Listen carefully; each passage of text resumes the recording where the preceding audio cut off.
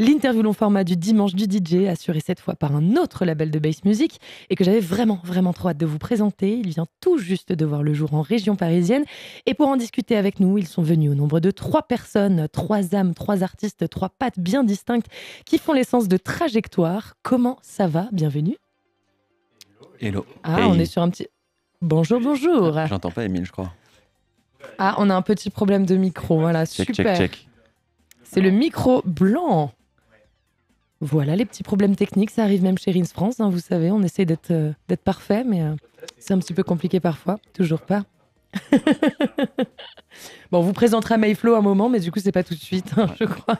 Censuré. Mais du coup, comme nous avons deux autres personnes qui ont un micro, vous pouvez vous déjà vous présenter en attendant qu'on règle ce petit souci. Euh, bah, salut, moi c'est Agone. On est fiers de présenter cette, cette compile de ce label qu'on prépare depuis un certain temps. Attends, tu dois me détester, je suis désolée, je dis Agone depuis tout à l'heure. Oh, toujours- ça, ouais. marche, ça marche. Ça Vraiment, il n'y a aucun souci. On écrit avec un Ah, accent super. circonflexe. sans- C'est vraiment. euh, J'ai appris à, à accepter. Ah, on a un, de- un dernier petit micro qui arrive. Bon, bah, tu peux te présenter du coup en attendant. Yes, mais moi c'est Arthur, Euh, j'officie principalement sous le blast de Quant, et euh, voilà, je suis membre de Grégor Collective. et, Quand avec euh, un Q, précisons. Oui, Parce qu'on a Kant avec un K aussi. Et euh, je pas un big up à toutes les orgas qui à chaque fois mettent QU sur les affiches. Ça me Ah, ça fait quante, franchement, ils sont Ouais, sérieux. ouais. Et il a enfin un micro, c'est Mayflow. Non, toujours Non, pas. il est censuré euh, sur France. non, bah si vous voulez, je peux vous raconter ma vie en attendant. euh, sinon, qu'est-ce qu'on peut vous raconter de beau? Non mais attends, je lui passe mon micro deux secondes. Ouais, c'est vrai, j'avais même pas pensé. Allez, allez. Heureusement que t'es là. Enfin, enfin, on me rend la parole. Bah, moi, c'est Mayflow. On a Euh, essayé de te faire taire, je suis désolée, ça n'a pas marché. Heureusement, heureusement, la solidarité prône qu'on peut y Est-ce arriver. que ce petit problème de micro viendrait peut-être d'une jalousie au vu du fait que Basile m'a offert de très belles chaussettes de Sans l'OM aucun doute. Ça vient de là, non? Je pense. pas, pas des chaussettes, des soquettes. Des sockets, des sockets, c'est très très dur à placer. Par contre, ce qui m'a fait Basile, ça va être euh, un sacré challenge.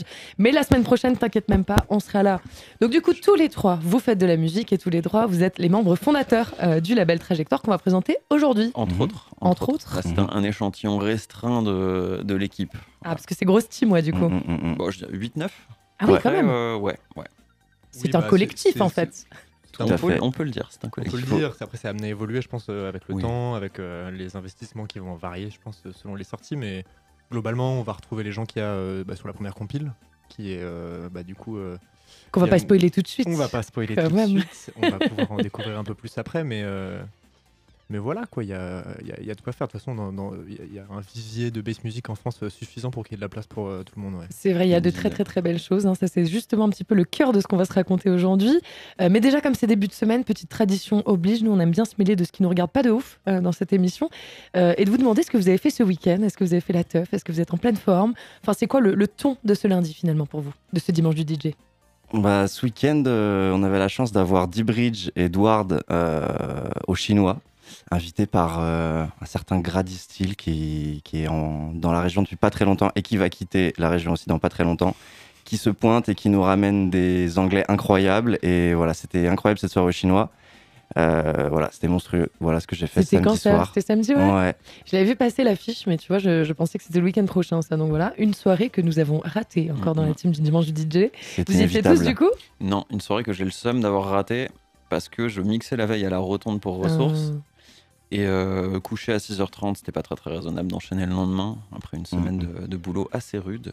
je comprends. Beaucoup de travail euh, le soir euh, après le vrai taf pour, pour préparer tout ce qui est autour de trajectoire. Donc euh, Et puis c'est bien, voilà, il faut, protéger sa voix quand même, tu On vois, pour venir parler dans les micros après le lundi, on fait comment sinon? Ouais, ouais, c'est sûr. ouais. Sinon tu tousses comme moi me- à l'antenne. Et, Ouais. tu vois.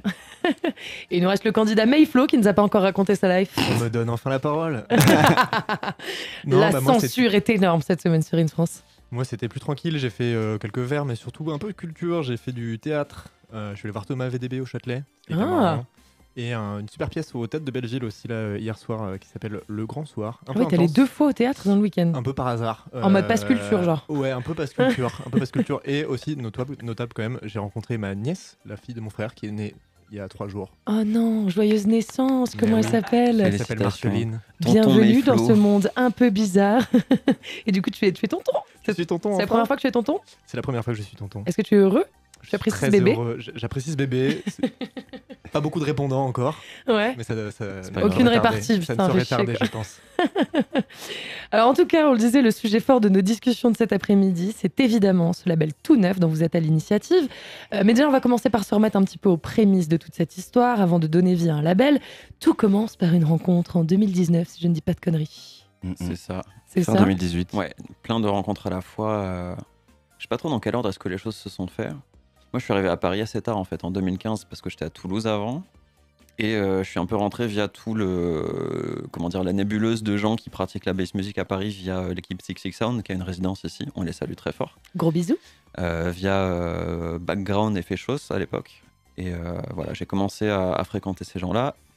Et via ces personnes, euh, on- j'en suis venu à rencontrer bah, Agon ici et sa team euh, Few Tips, et par extension aussi Mayflow. Mm, mm, mm. Je crois que le, le point focal de, de tout ça, ça a été un peu la dub war. euh, Ouais, c'est ça, moi, c'est ce que j'avais cru comprendre. Ouais, ouais, bah pareil, la Deboire aussi, d'ailleurs, il s'a- il s'avère que moi, c'était par Background Effet Chose que j'avais rencontré en jouant de la bass euh, dans les sous-sols de l'ENS. Oui. C'était un peu ma, ma porte d'entrée, justement, de me rendre compte qu'il y avait d'autres gens de mon âge à Paris qui aimaient ce genre de truc. Et c'était pas évident, parce que sinon, c'était surtout de la house, de la techno, des trucs comme ça.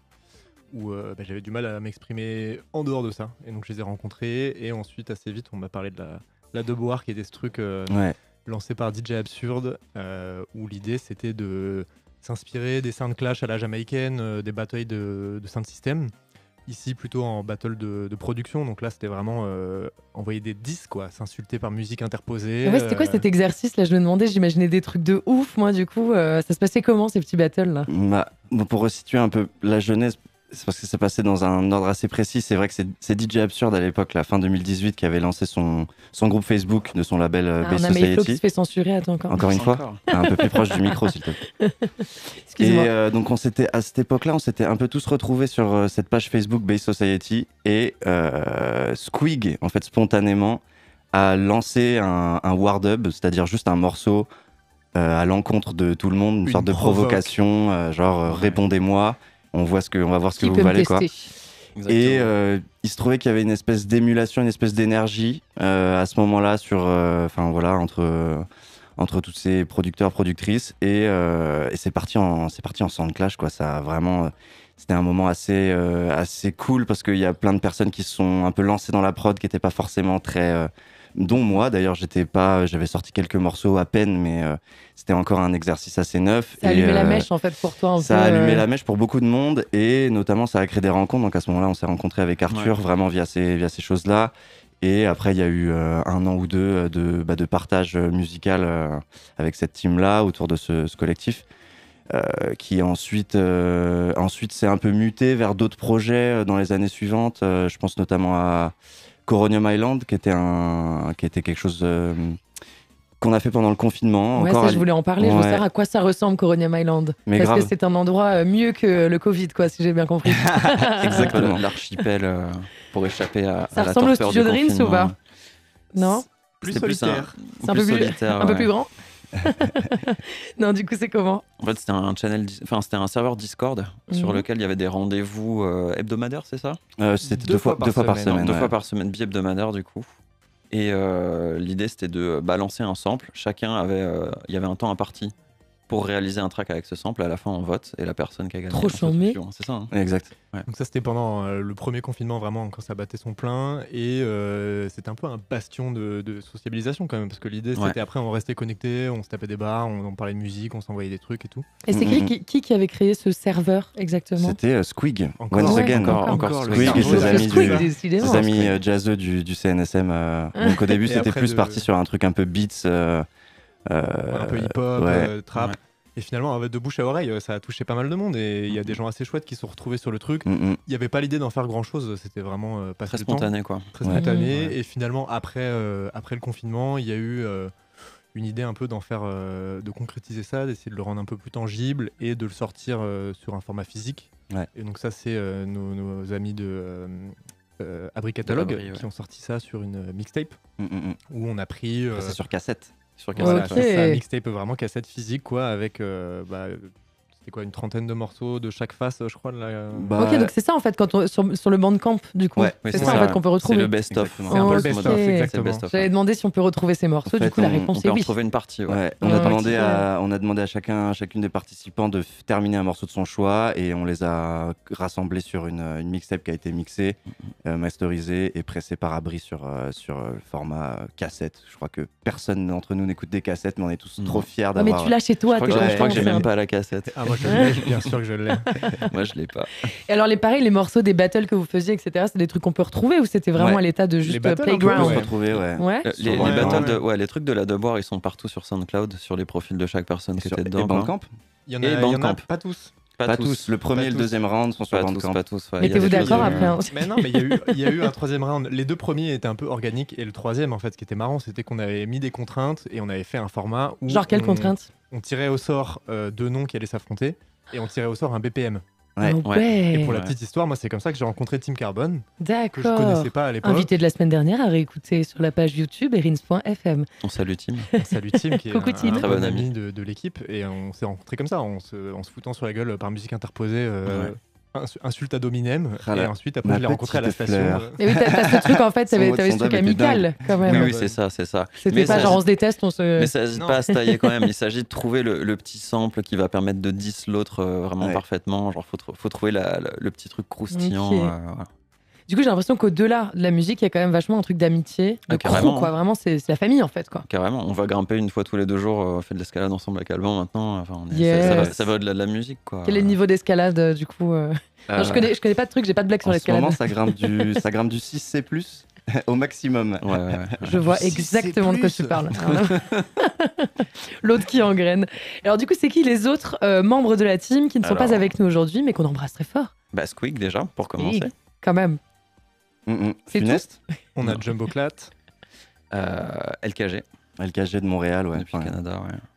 Qui d'autre? Ma mémoire est Mambo désastreuse. Khan. Mambocan aussi, ouais. Mambo qui est tout Hambourg fait. en ce moment, Ouais. bisous à lui.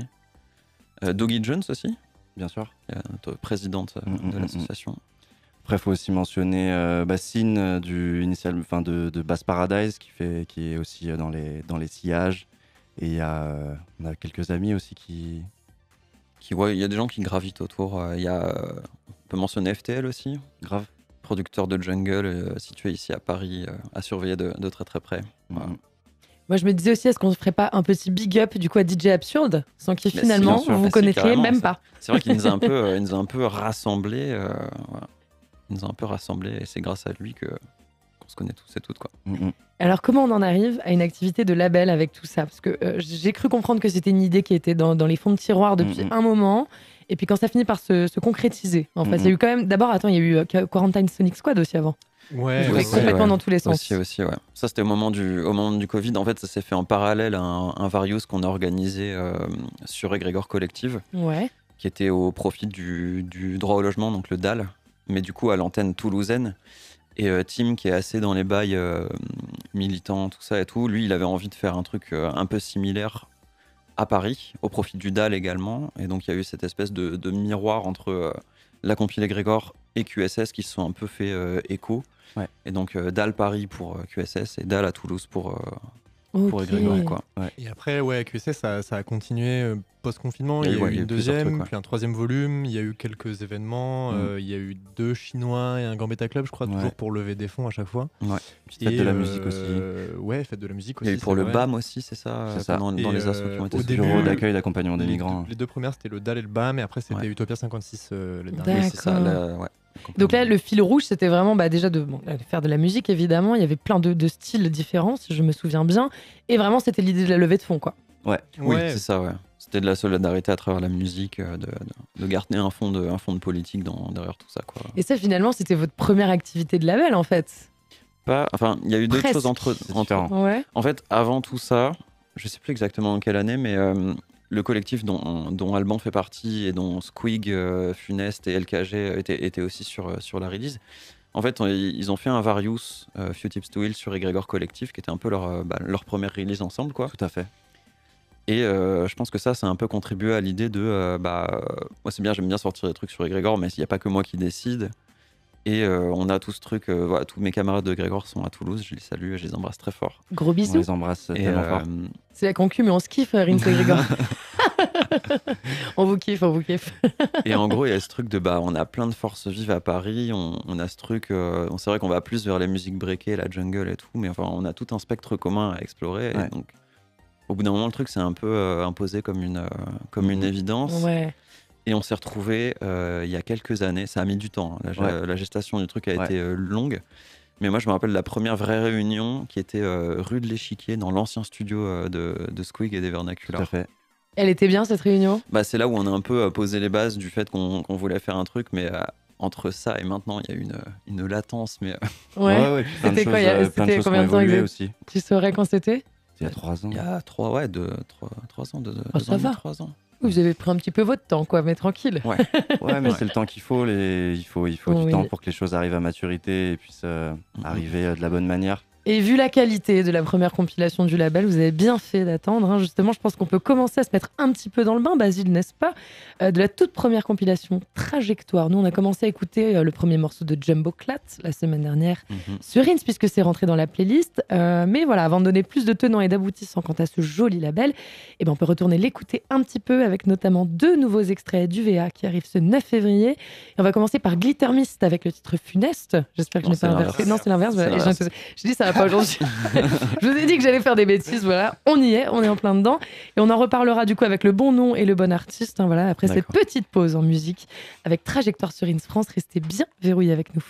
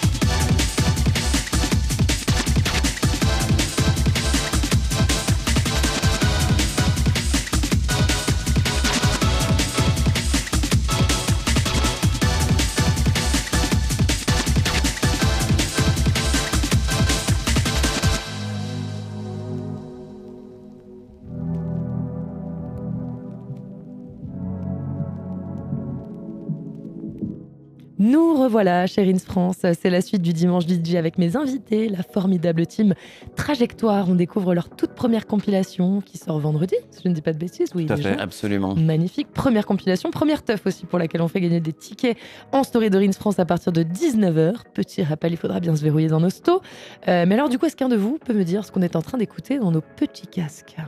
Bah peut-être moi, euh, c'est Allez. mon morceau Allez. qui s'appelle euh, Transatlantique. Euh, qui s'appelle euh, Transatlantique euh, parce que l'idée c'était un peu de mélanger la grosse ref culturelle quand même majoritaire du label qui est autour de la musique anglaise. Beaucoup euh, breakbeat jungle, euh, drum and bass grime et tout ça, tout ça. Et euh, là sur le petit bridge qu'on entend en arrière-plan, il y a quand même Il a dit bridge. Parle pour les gens normaux. le petit, le petit tapis musical qu'on entend en fond. Voilà le joli tapis sonore. Le tapis sonore. Euh, là, c'est une phase qui est un peu plus inspirée de euh, musique américaine de Chicago, de la footwork, euh, qui moi est une de mes grosses grosses influences Mhm. et euh, qui normalement initialement est un peu séparée justement du hardcore continuum anglais, de toute la breakbeat, euh, jungle, DNB et tout ça, et qui finalement en fait après a, a fait ce pont-là justement au-dessus de Mhm. l'Atlantique et a commencé à re re, euh, nourrir toute cette musique là, lui redonner un pan de créativité et tout. Et moi, ça, c'est un truc qui me, bah, qui, pour le coup, m'a vraiment nourri. Et donc, c'était un peu ce que j'essaie de faire avec, euh, avec ce morceau-là. Mm, mm. Tu es revenu aux prémices finalement de tes influences en un seul morceau. Je dégoûte. Alors du coup, dans tout ça, à l'approche de ce tout premier Various, euh, on n'a pas encore dit quel a été le, le déclic ou le constat qui vous a amené à lancer ce label, à dire vas-y maintenant c'est maintenant, let's go, Euh, on le met dans le feu quoi, tu vois, personne sait. Hmm, je sais pas s'il y a eu un déclic précis, parce qu'on disait que c'était quelque chose qui s'est un peu imposé comme une évidence, que c'était un truc qu'on avait envie de faire juste pour Oui. concrétiser ces, ces échanges musicaux et ces, enfin, voilà, ces, ces- toutes ces interactions-là. Et après, ça a mis le temps que ça a, ça a pris le temps que ça a pris.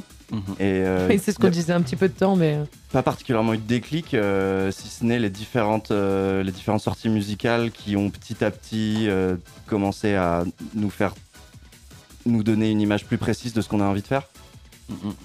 Bah, et puis, il y avait- je pense qu'il y avait vraiment une espèce d'idée de fédérer un peu toutes ces, enfin, tous ces individus qui, Oui. qui flottaient dans plein de collectifs, qui se connaissaient, qui se fréquentaient, euh, qui collaboraient de manière un peu ponctuelle. Mais je pense qu'il y avait aussi quand même un peu de, de toute part une volonté de fédérer tout ça sous une égide euh, un peu marquer le coup, quoi. Ouais, ça c'est ta phrase que t'as mis dans, que tu m'as mis dans le mail, dans le et j'ai ouais. trouvé stylé. Non non, non, tu disais sous cette égide. Je me souviens que ça finissait par sous cette égide. Bref, je veux pas me perdre Non, c'est un là-dedans. peu là, ouais, c'est la continuité de la... des connexions qui ont été créées pendant la devoir. Quoi. Je crois qu'il y a eu un... pour tout le monde un petit moment quand le, le truc de la devoir est redescendu de se dire ah bah c'est dommage, quoi il, se la passe, suite, il se ouais. passe moins de choses en fait et euh, on a mis un Ouais. peu de temps à voir qu'en fait les... ça a planté des graines et que bah, trajectoire c'est euh, une de ces graines là qui a germé et qui est devenue un, un projet à part où voilà des gens issus de, de, de- de ces groupes euh, voilà, d'artistes euh, voilà, font un projet ensemble. Je pense que dans, dans les trucs moteurs, il y a un peu le constat que bah on a le savoir, genre lancer un label, euh, enfin ça on sait faire, organiser, organiser des soirées, on a les compétences pour aussi, et surtout bah on a des tracks. Oui. Et euh, ce et serait plein cool de déclinaisons en fait Mm, mm, mm, de, c'est ça, ouais. de, de sous-genres de bass music parce que comme tu le disais tout à l'heure il y a des millions d'influences en fait avec ce label des Ouais, millions Oui, oui, bah, et ça, je pense que ça, ça va être un peu à la, à le- le- la sensibilité de, de chaque personne du label, mais c'est vrai que euh, déjà, même à nous trois ici, on n'a pas forcément les mêmes. euh, les mêmes influences principales. Euh, On se retrouve en fait dans ce spectre de la bass music qui est assez finalement assez inclusif et il y, a- Ouais. il y a vraiment à boire et à manger. Mais c'est vrai que, euh, bah, par exemple, moi j'ai beaucoup ce truc euh, de, euh, de la footwork de Chicago. Euh, initialement, je venais beaucoup de la, de la techno aussi, mais je mélangeais ça avec tout ce truc du sampling, du hip-hop, du jazz. Moi, c'est vraiment ce, ce pan-là de la culture qui, qui transparaît dans un morceau et Mhm, qui n'est pas mhm. forcément la même que. Bah, que Ouais, je pense que pour le coup, Alban et moi, on est plus homogènes en termes de d'influence musicale. Ouais. On Ouais. écoute un peu les mêmes trucs. euh, bien tous les deux du métal, par exemple, aussi. C'est c'est vrai. C'est des, c'est des influx communes. hein. Il y a des grosses batteries aussi. euh. Enfin, Il y, a, il y a des filiations qu'on peut, on peut en trouver un peu partout. En fait si on devait tirer un spectre total on va dire bon c'est toujours dur à faire mais il va de où à Oula. où? Le où Franchement, le spectre? hard- hardcore continuum, donc euh, bass music au sens le plus large possible. Euh, je pense que c'est le terme qu'on, Ouais, c'est vraiment ça le c'est principal. le terme où on se retrouve assez bien. Ouais. C'est-à-dire que ça inclut à la fois autant le grime que le footwork, que la drum and bass jungle, que euh, Tout l'héritage j'ai caribéen. dit le UK aussi, garage, euh, non, le UK funky, Mhm. euh, toutes ces influences euh, club, ces esthétiques euh, un peu basées sur la sur la basse. mhm. Et, euh, Et voilà, pour un peu se renseigner sur euh, le- ce terme qui peut faire un peu pompeux, euh, je peux renvoyer aux écrits de Simon Reynolds, qui est un journaliste euh, anglais des années 90, qui a un peu écrit euh, sur ces musiques-là. Et d'ailleurs, ça a été traduit très récemment par les, les éditions Audimat, Audimat, ouais, à qui on fait coucou. ouais, Coucou. Excellent, qui, excellent ont, qui ont traduit euh, tous ces traduit et compilé tous ces écrits euh, sur un bouquin qui s'appelle Hardcore et qui est euh, achetable chez Audimat en ce moment. Ok. Et il disait quoi ce journaliste du coup? Ah, il, juste, il écrivait au jour le jour sur l'émergence de ces Ah, musiques. Et puis il a, il a défini ce terme justement Ouais, c'est continuum. Voilà, Ok.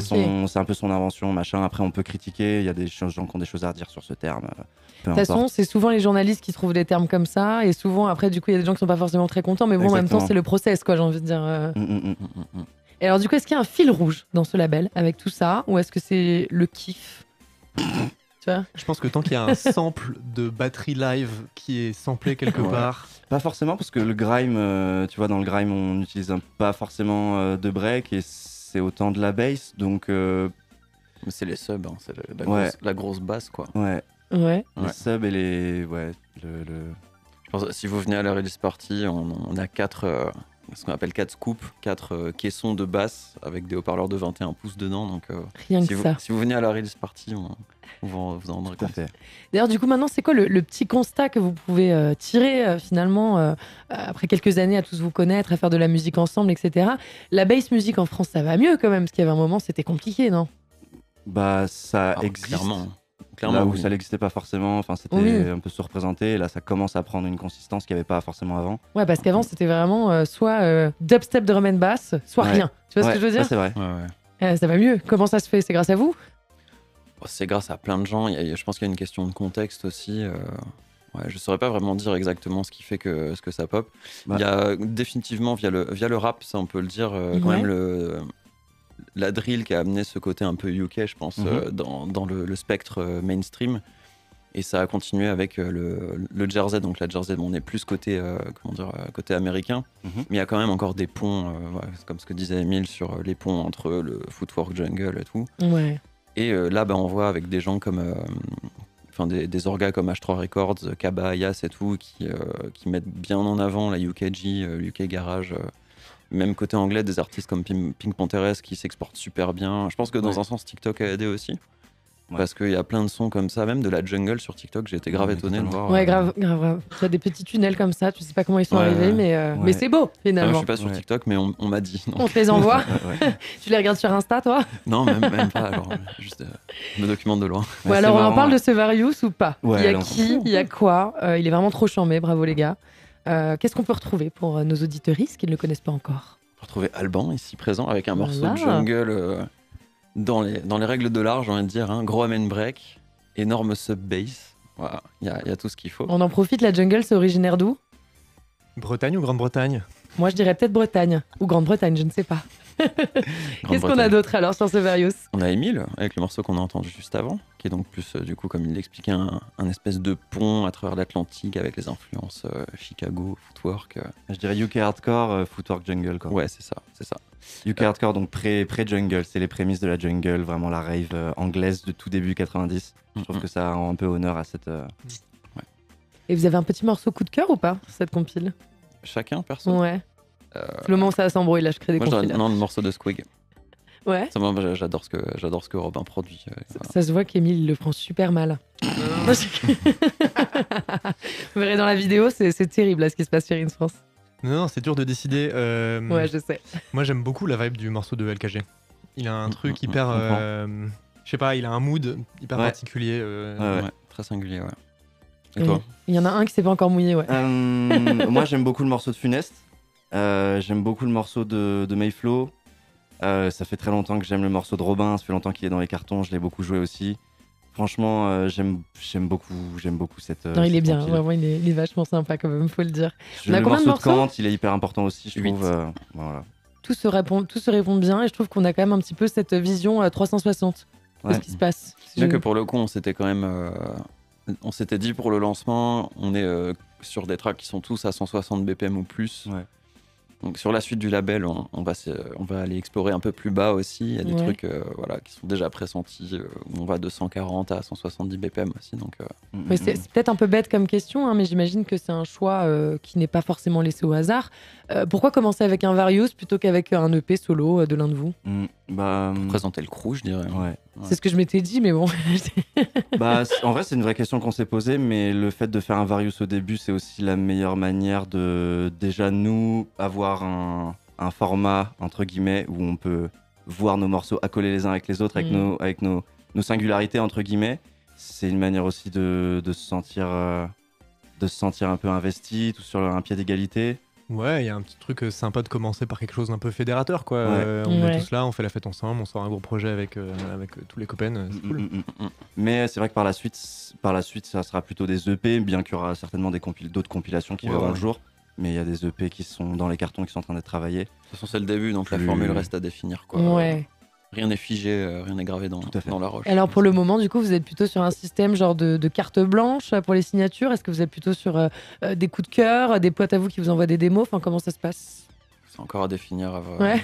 Surtout, euh, en fait, surtout en interne, parce qu'il y a déjà des trucs, euh, des, des trucs dans les cartons. Ouais. Ouais. Après, on peut proposer des gens de l'extérieur, mais c'est un, c'est un peu en mode euh, faut vouch pour quelqu'un, genre. euh, ouais. Mais ça reste à définir encore. Mm, mm, mm. Et d'ailleurs, trajectoire, le nom, il vient d'où? Qui a décidé C'était quoi le brainstorm pour Oh, dire purée. trajectoire Bah, Je veux- je veux toute la euh, réunion en détail. franchement, nom. Oh. Franchement, il y a eu plusieurs, euh, il y a eu plusieurs tentatives. Ah ouais. Euh, ça s'est passé sur sur sur Discord, je pense. Hein, a Ouais, et été- en ouais, personne aussi, ouais. Ça a en long. personne, mais ouais. C'était très long. Et a qui a, un- qui a eu le, qui a eu le fin mot de l'histoire? C'est pas une idée de Thibaut à la base? Non, c'est moi qui ai proposé Non, la c'est toi. trajectoire. Coup, ça a l'air en- encore, encore squig. Non, mais je sais qu'on a eu un- on, a- on s'était mis d'accord sur un premier nom. Tu veux le fait, dire on ou a. pas? Non, non, non. Ah ouais, dis-le, dis-le, dis-le. C'était quoi le premier nom? quoi? Je me rappelle même plus. C'était C'était hors piste. Ah ouais, C'est un peu hors nul. Là, on a failli non, non, être en. DDD avec Orpis. Non, non, si, je- hors piste, c'était, on était parti là-dessus. C'était et un puis peu au mis en consensus euh, dessus, mais un consensus mou. Ouais, un consensus euh, qui, ré- enfin, qui, qui a fini par dire oui alors qu'il a pas trop envie de dire oui. C'était faute de mieux, quoi. Ouais, Ouais. Et je, me- ouais, je ouais. me rappelle un jour où Thibaut est passé devant une boutique de hors piste. et il m'a fait une photo de la vitrine et on était là genre. Ah fait, non. Ok, on mort. abandonne, on abandonne. Flemme. Ouais, on s'était dit que ça faisait trop, euh, ça faisait trop magazine euh, d'art contemporain. euh, Parce que vous avez un problème avec l'art contemporain peut-être. Non, mais c'est pas ce qu'on fait. pas, Trop agressif, même pas. Et alors trajectoire, du coup, c'est grâce à toi qu'on a ce petit nom là. Écoute, j'ai proposé ça et c'était, c'était un long brainstorming. Celui-là, celui-là a provoqué des réactions. Ça fait partie des, des raisons pour lesquelles tout a pris du temps à se lancer. Ouais. euh, les beaucoup décisions de- collégiales sont difficiles. En même temps, vous êtes beaucoup, hein, forcément. ouais, euh, ouais. faut se mettre d'accord. euh. Ouais. Exactement. Voilà quoi. Donc on a failli être dans le dimanche du DJ avec Hors Piste Records, mais non, c'est bien Trajectoire. Et heureusement, j'avoue, le nom il est un petit peu mieux. Euh, voilà, label qui a encore plein d'autres trésors qui vont arriver pour la suite. On va vous en parler. Il y a aussi la release party euh, dont nous n'avons toujours pas parlé alors qu'il y a des choses à en dire. Alors je vous propose de repartir sur un tout petit peu de son, quand même encore un peu pour pas trop trop tunnel les gens et puis faire écouter ce que vous avez de bon à nous proposer. Et puis on vous donnera toutes les infos pour participer à cette fiesta le 10 février prochain. Alors prochain morceau du coup c'est l'un des deux auteurs qui était l'un des deux auteurs pardon est avec nous euh, puisque c'est Dead Thread. Est-ce que tu peux nous en parler un petit peu s'il te plaît? C'est quoi ça? Oui. Oui. Euh, bah, c'est euh, avec Robin et qui est Squig, on a commencé à faire des collabs il y a. pff, Pareil, ça a mis un peu de temps parce que euh, moi j'ai un boulot où je bouge beaucoup, je suis pas là pendant l'été. Lui il bosse en studio, euh, il fait du, du mixage, euh, de la prise, du mastering. Donc c'est compliqué de trouver des moments où on est euh, là ensemble physiquement pour faire les choses. Il y a eu plusieurs sessions et euh, là pour le coup ce morceau Dead Threads il est assez récent. On l'a vraiment, on s'est vraiment dit on va essayer de composer des trucs pour trajectoire pour vraiment alimenter ce truc. Et euh, c'est un morceau qui est sorti super rapidement. On n'a jamais, très vite, la matière est venue, on a commencé à organiser le truc et le morceau s'est dessiné super facilement. Et on a d'autres trucs comme ça qui sont dans les cartons, qui sont pas encore finis, euh, qu'on a vraiment, vraiment hâte de finir et, et, de, et de présenter. Et donc ça, ça devrait sortir du coup pendant Euh, l'année. Si, ça, trop. si ça remporte le consensus, euh, oui. Voilà. a priori. En tout cas, on est sur de l'exclu alors du coup j'ai envie de dire. Oui. fait. Un petit peu. Absolument. Oui, c'est de l'un- de l'unreleased. Voilà, magnifique. Que de l'exclusivité dans le dimanche DJ. On adore. Alors, on découvre cette collaboration qui, on l'espère, sortira en 2024 sur Trajectoire. Mm. Ton nouveau label préféré qui est avec nous jusqu'à 7h sur Ins France. À tout de suite.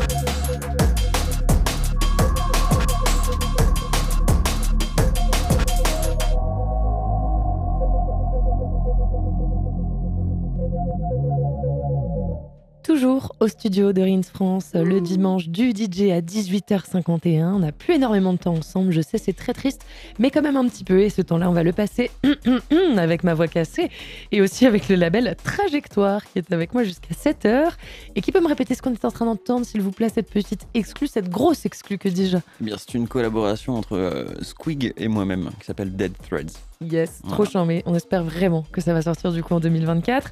Et alors, ce superbe VA, il va avec forcément la fiesta, la release party. On n'en a pas encore parlé. C'est samedi à Nanterre. C'est ça. Ouais. Dites-nous tout. Ah, Qu'est-ce qui va Ben, se passer Ça se passe à la. Donc, c'est euh, juste à côté de. Vraiment sous le RER Nanterre Université. Ouais. Donc, euh, une scène avec un sound system. euh, Le Rhizome. artistes. Le Rhizome Sound System, à qui on fait un gros bisou. euh, une équipe qui travaille très, très, très fort pour un son extrêmement qualitatif. Et euh, voilà, ça va être. euh, on va décliner tout le spectre de, de la musique qu'on aime et qu'on compte sortir sur le label en famille. Et ça va se passer de 23h à 6h du matin. Et il y a un truc qui me perturbe avec ce lieu, c'est que je suis pas sûre. Je crois que j'ai fait pas mal de soirées bass justement là-bas, mais je suis pas sûre. C'est les soirées Bass le- Paradise. Ouais, ok, c'est Ouais, bien ce truc-là. Il y a un peu deux salles, non? Oui, alors eux, ils font deux salles. Ouais. parce qu'ils ont généralement une salle 2 avec un sound system dub, vraiment dub roots, euh, D'accord, c'est bien le ça. digital dub qui vient. Nous, on se concentre sur une salle. Ok, ouais, mais il est trop bien ce spot. Comment ça se Il fait que est- vous faites là-bas du coup euh, Mais c'est que pour la bass en fait là-bas? J'ai Alors. Mm, pas non, pas que, pas que. En Euh, il y a- Journaliste bien renseigné.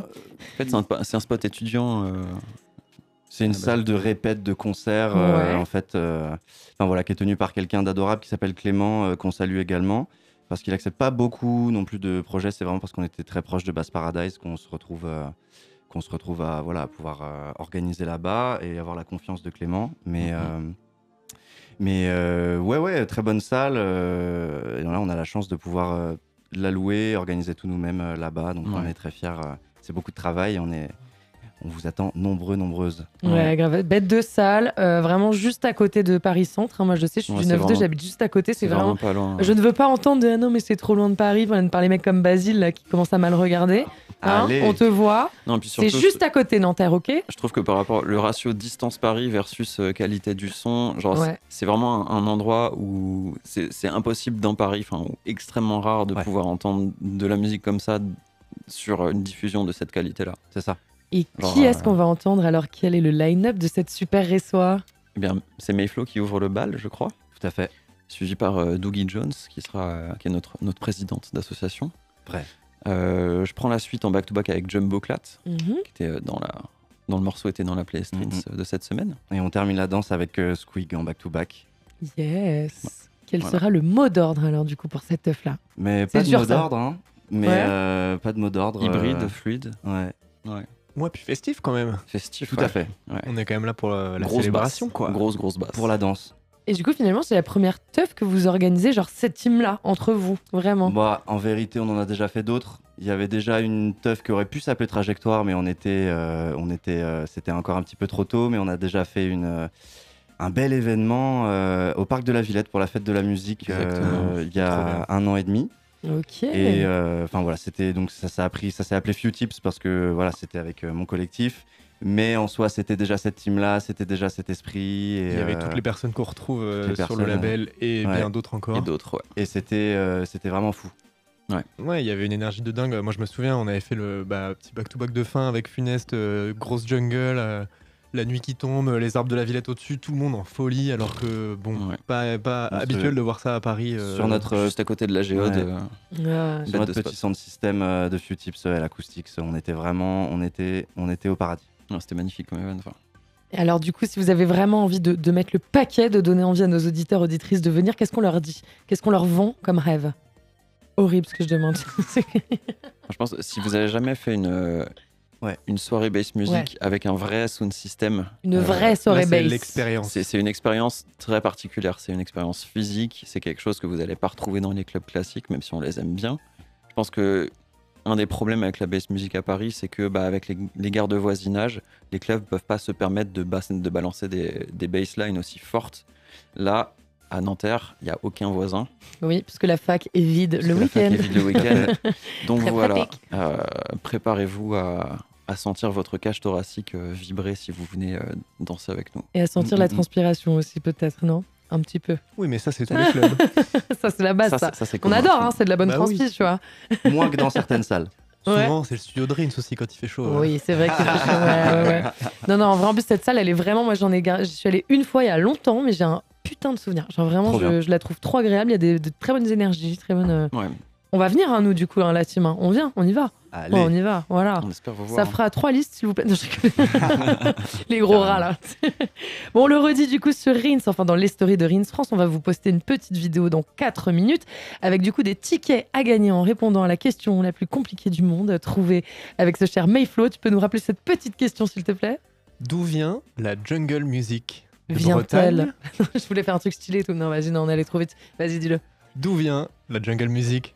Vient-elle de Bretagne Ou de Grande-Bretagne Allez, c'est parti, on va vous poster ça très très vite. Est-ce que vous avez un dernier petit mot, un petit tour de table euh, d'actualité perso, peut-être avant qu'on se dise au revoir, de trucs qui vont se passer, euh, de, de mots d'amour les uns envers les autres, que sais-je Hum, Peut-être un petit shout-out à. Euh, euh, clope à All électronique, lui, c'est roue libre, roue à, All Bass Included, euh, qui est un projet euh, qui s'est monté il y a un an et demi avec, euh, avec quelques amis et euh, on a des projets dans les cartons pour cette année. Voilà, euh, notamment, vous avez des trucs à.